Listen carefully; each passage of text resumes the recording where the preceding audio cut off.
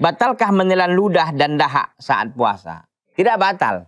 Tidak batal ya. E, menelah, menelan ludah dan ludah itu kan memang apa? Tempatnya di situ gitu. Jadi begini, ketika kita puasa itu biasa saja gitu. Ini kadang-kadang kan sebagian masyarakat, oh ini puasa apa pun nggak boleh masuk gitu kan. Sehingga ludah ngeludah, sedikit ngeludah. Jadi orang pun jorok. Tidak, biasa saja. Ini kadang-kadang karena mungkin puasanya hanya sekali setahun gitu kan. Dia puasa sunnah juga nggak ngambil, puasa ini juga nggak ada gitu. Sehingga oh apa-apa. Sehingga akhirnya beraktivitas pun terganggu dia. Sedikit-sedikit ngeludah. Kalau beraktivitas di kantor gimana coba? Di mana ngeludah dia? Ah gitu. Jadi biasa ludah itu tempatnya di situ. Ya udah nggak masalah.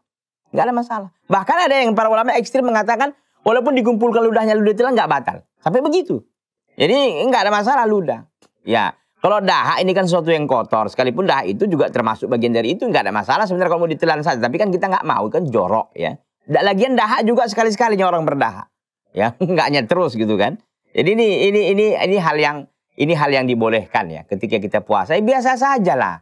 Ketika kita puasa biasa kita buat, ludah itu akan biasa dia. Tapi kalau kita nggak, ini yang berbahaya. Jadi intinya tidak mengapa ketika kita menelan ludah ataupun dahak yang kita telan ya karena itu memang tempatnya di situ wallahu taala